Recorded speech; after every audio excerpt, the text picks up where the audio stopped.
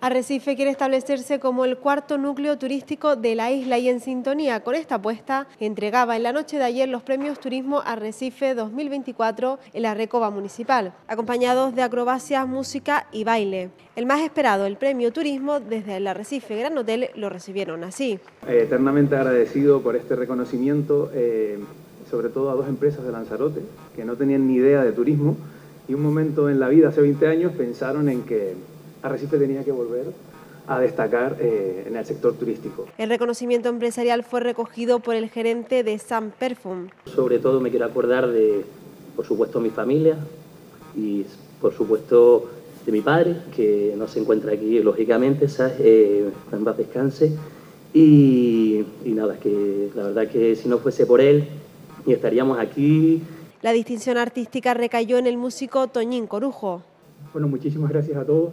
Al, fin y al cabo, lo único que he hecho yo es hacer lo que me gusta y lo que me da la gana en cada, en cada instante. Y al final, pues mira, me dieron el premio. El ámbito deportivo también estuvo presente. Muchísimas gracias. La verdad que este tipo de, de premios pues hace que un poquito todo ese esfuerzo, a veces hablamos de esfuerzo, pero cuando alguien hace algo con pasión, con cariño, eh, el esfuerzo no, no, existe, solo simplemente la dedicación de, de, que tienes un objetivo allí al fondo, a lo lejos. En la categoría eventos destacó el concierto en vela. Yo nací en el Charco, mi madre nació en el Charco, mis padres viven en el Charco San Ginés, justo al lado de la Miñoca. ¿Por qué no hacer un concierto para atraer a la gente cuando eso empezábamos con, con la asociación y llevar la música a la, al público, ¿no? a la gente? Todo ello en una noche importante para la ciudad, ya que destaca el trabajo de personas y empresas en la capital.